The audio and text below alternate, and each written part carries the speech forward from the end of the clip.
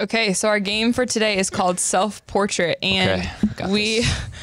are going to hold a paper plate against our foreheads, and we have to draw a picture of ourselves. So everyone, Do we have a count on this? Like, how long do we have? Like, um, not long. Not long. Just draw fast. not long. This is also gosh. backwards. When do we Are start? we starting? Yeah. This All is, right. This is, oh my gosh, this is Oh, man. opposite. I can't see. Here we go. Now I got a big circle. Eye. One I have no idea. This is backwards. I just made myself a beard. Nose. Big smile. Big smile. What This even? is so hard. Uh, don't widow's have peak eyes right yet. here. Widow's I can't Got that. I can't Looking see a at the camera and then it's going a different way. I know. Here we go. And then nose. some lots of hair. Are we done? Are we looking at them? How are we doing? Oh yeah, that's definitely me. Don't you think? That's definitely me. Guys, I have three lines. What is this? Well, that was good. oh my gosh. Uh, My nose is very like defined. All there. let's very- let's get see started. that. Oh, yeah. The hair's pretty accurate. it like that.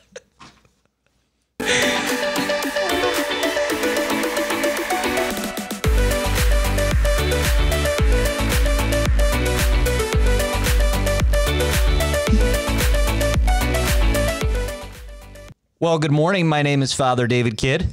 My name is Lauren Strauss. And I'm Athena Getzy, and welcome to QuaranTEEN. Um, today, I want to start with uh, talking about Awaken Nation. So, if you really are enjoying um, what we're doing here and any of the shows, but obviously particularly ours, because you know we're the best. Um, this is a way for you to help support us. So you can join Awaken Nation if you go to awakencatholic.org slash donate. It literally can just cost you like a cup of coffee. That's it. Um, and then if you struggle with daily prayer or daily meditations, the Hallow app is for you. And actually, if you follow the link at our website, you are also supporting us. And who doesn't like to support and get a gift? You get a free month of premium by following the link at our website. That's a sweet deal. Thanks, It is. Athena. You're welcome. Well, so today we're talking about good, healthy dating, or to sum it, hashtag Goals. goals. so we're going to talk about dating today and what's the purpose of that, why do we date, um, and hopefully learn a little about dating. Yes. Yeah. So, did you guys did you guys date in high school? Oh, good question. Not really. There's like I'm not I, sure. I went. I think I went on more like homecoming, prom, Yeah. Sadie's, um, dances. Not formally dating actually till college. Okay.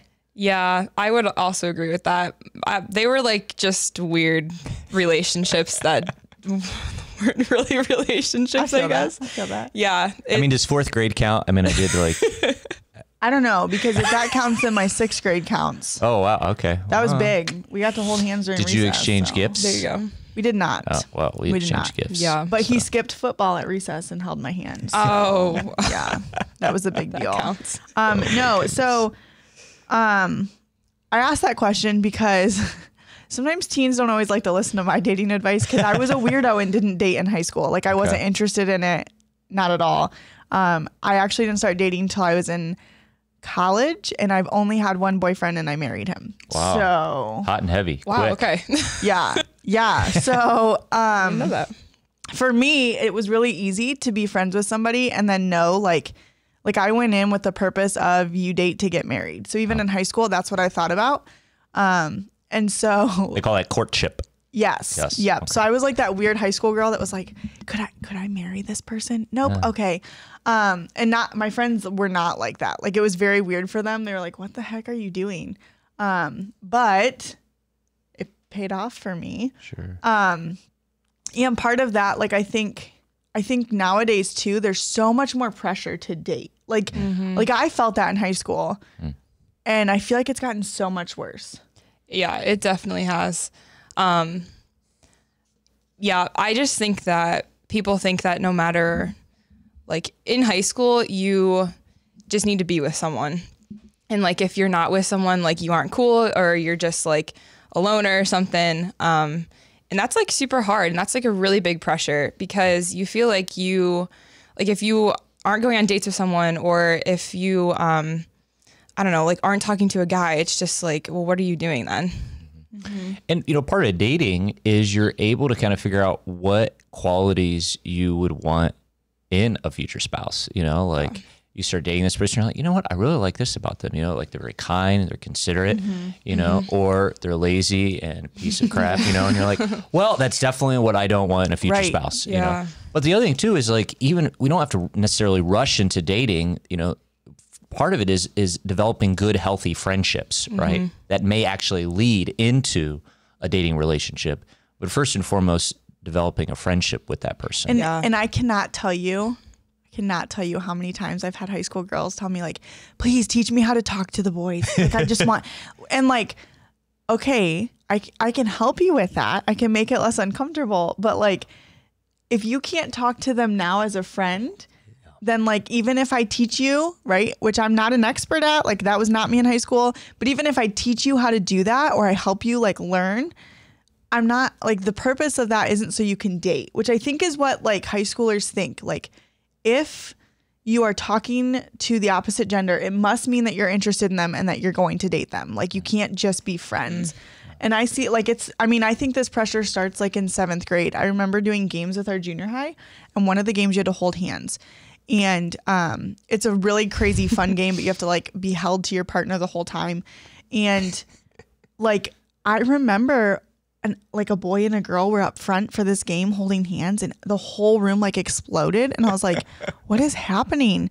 And they all like looked at me, they're like, they must like each other. And I was like, I literally am forcing them to do that. Like this is not their Yeah. choice. They're not that's not the thing. Yeah. And I think we get so wrapped up in like that if we're gonna talk to the opposite gender, it must mean that we want to date them, like no matter Yeah, what. that's definitely not true because I the majority um well, I would say a lot of my friends have been guys and like that's I just really enjoy being around guys and like having that friendship with them because it's like a completely different perspective about things and um it's really awesome to like have that perspective in your life. And um yeah, like some some of those friendships have turned into relationships, but like others like I just have really good guy friends in my life, which is awesome. and that's a good healthy thing you know being able to develop good friendships with members of the opposite sex is so healthy and good for us because that's like half of the world Yeah. Yeah. And you ha- Right? yeah. And you have to remind yourself too that like it's not just about looks and um, what you see on the outside. Like you really, that's very hard. Um, but you have to really look at their personality and their characteristics. Um, and not just dating to date, um, actually having a purpose. And like Athena was saying, like dating for marriage. and you know levels of friendship um, there are many different you know like great philosopher aristotle talks about this right and like we can the very base level is kind of like purely utilitarian like i'm i am friends with this person because they get me something right which is pretty Yeah. like base shallow way of being a friend right Don't do that. don't do that. But another level you'd say is kind of a shared interest, right? Like we enjoy going out and playing football. We mm-hmm. enjoy going out and going to the movies, or we enjoy reading books, whatever, whatever it may be, that we have this shared connection with, you know. And then it kind of moves kind of further into whether it's, you know, virtue, hopefully, like this person holds me accountable. Mm-hmm. This person challenges me to be a better person each mm-hmm. day, you know. And those are the type of friendships as you deepen that relationship with someone, hopefully that's the type of friendship you're developing with that person, person who challenges you to be a better person each and every day, and they do the same for you. And I think that there's a lot of pressure too that like so not only are you supposed to date in high school, um, but like you're supposed to conform to to what society says dating is, one. Yeah. And two, change so that you fit that relationship, right? Because like it's like a sin in high school to be single. like I don't know. I Yeah. it was bad before. Um and it's been years. Literally, like I was with my high school senior cousin and I told him when I graduated and he was like, You're so old now. I was like, Thank you. Great. Um, so it's been a while. But I remember there were pressures then and it was weird to be single and it was like people thought it was so weird that I never dated. Um, but I feel like now it's even worse. And one, dating doesn't have to look like every other high school relationship or every other relationship that you see in the media. Like, um, the reason that some high school sweethearts stay together, I have um, a guy on my core team who is marrying his high school sweetheart next year. And like the reason that they stayed together is because it was virtuous. So even when they were um, struggling, whether that was with chastity or whatever, they were there for each other and building each other up. Two, this is very important. They found things to do not together, right? I can't tell you how many like people that are dating do everything together, okay?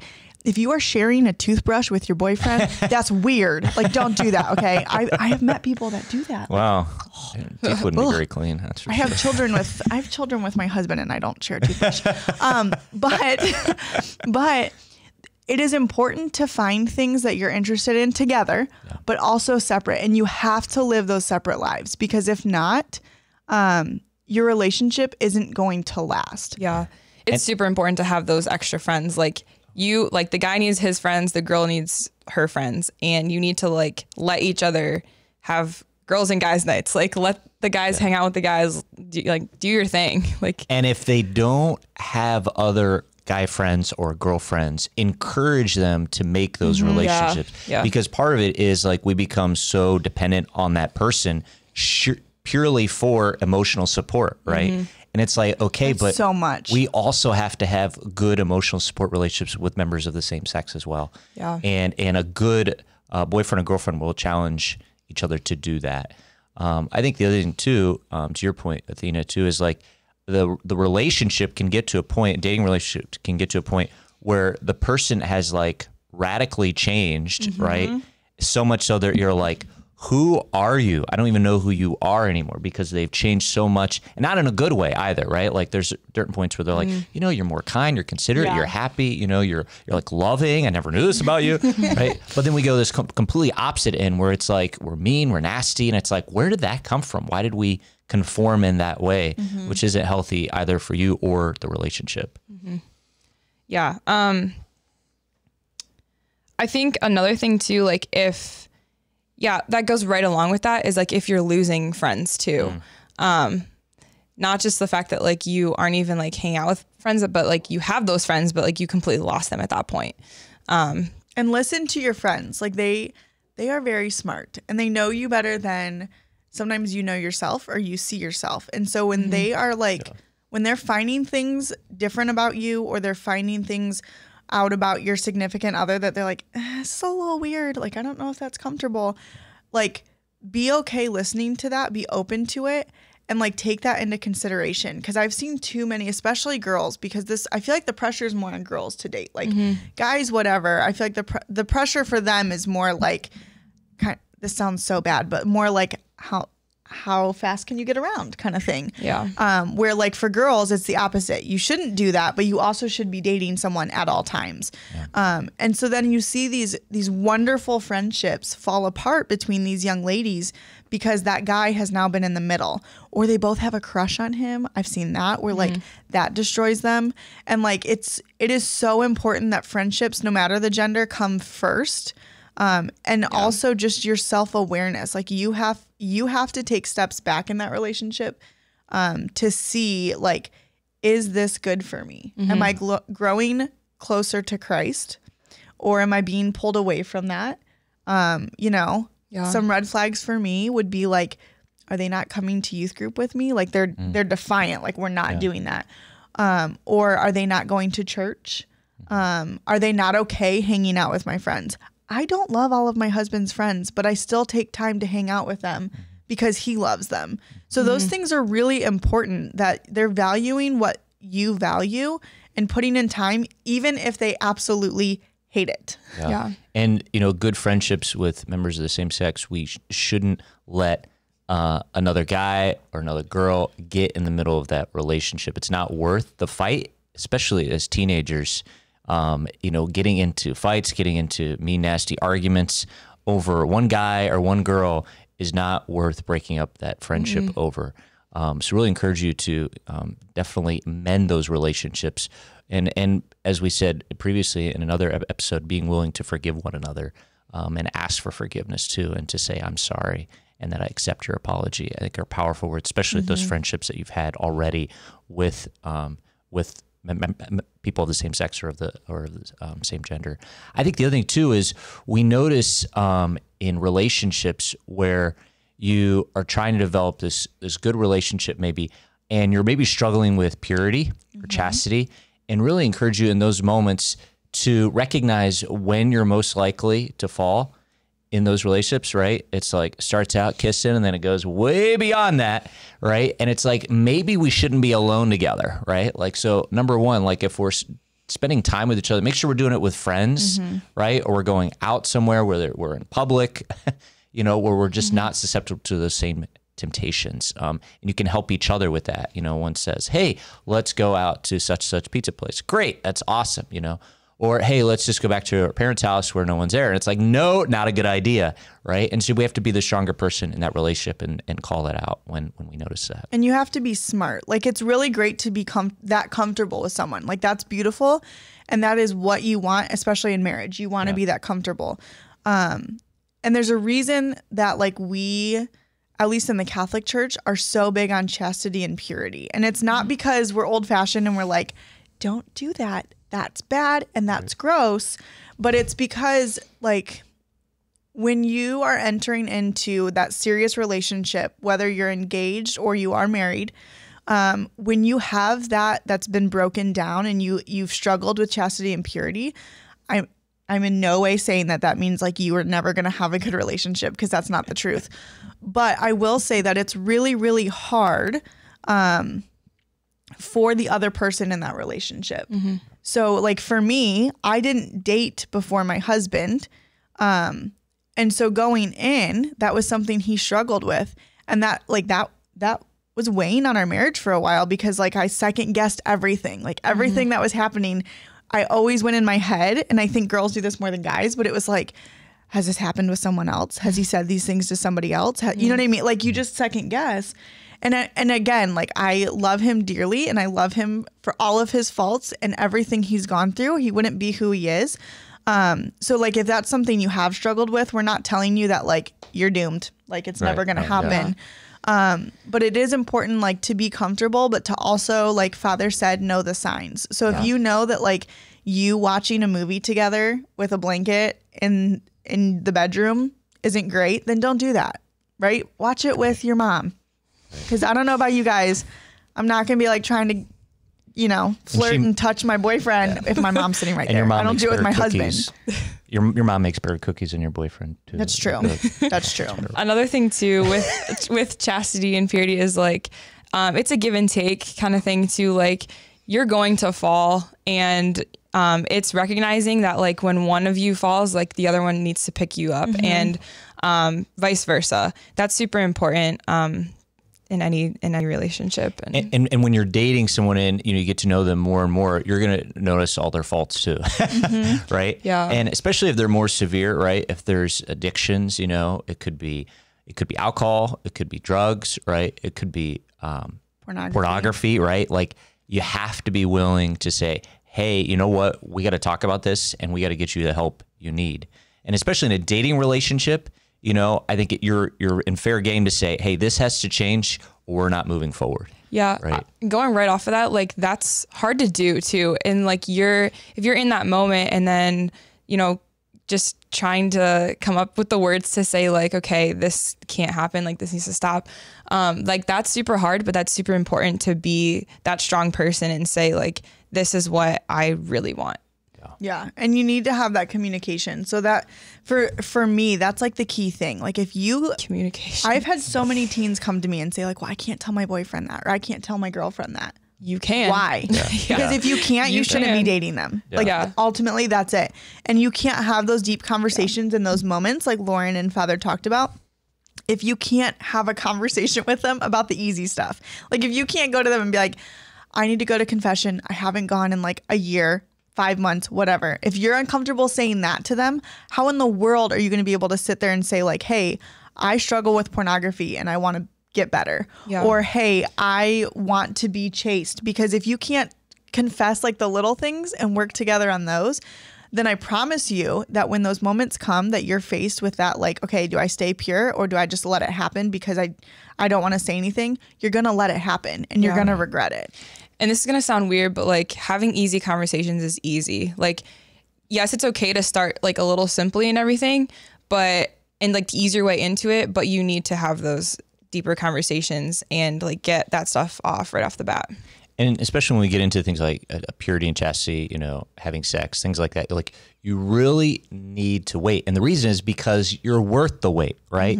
We want you one day when you're married to truly celebrate, right? To have an awesome honeymoon, right? And when we realize is what we're saying on our wedding day, right? When we say, I promise to be faithful to you in good times and bad, in sickness and health, to love you and honor you all the days of my life, you can really mean it, right? And you can start living that then. And you've you've waited, and that's a gift you can only give your future spouse, right? And and it's important to remember if you've been through a breakup after you have slept with that person, okay? It is way harder. And it's not just because like, oh, I just loved them. Like that's not the reason, okay? It's because you've given a part of yourself to them and they were not ready to receive it in the right way. And so now you feel broken. A part of you is lost and it takes a really long time to mend that. Like I a really long time. So it's just easier and less messy if you wait till you find the person that like is going to stand in that church with you, is going to confess and and you know, give themselves to you fully in the sacrament of marriage in front of all your family and friends. Plus, then you get to hold them accountable. So when my husband does something stupid, he doesn't get to just leave and disappear and be done with me. I can yell at him, and he still has to come back home. And same with same with him. Like he can yell at me, and I still have to go home and face him, Yeah. whether I want to or not, because divorce is not an option over stupid little things. Um, and it, and that's not the case in high school relationships. I see it so many times where, you know, it's fine because I really love him or I really love her, so it's okay. But then like something stupid and petty happens and they're done. Like, and they come to youth group and I'm like, where's your boyfriend?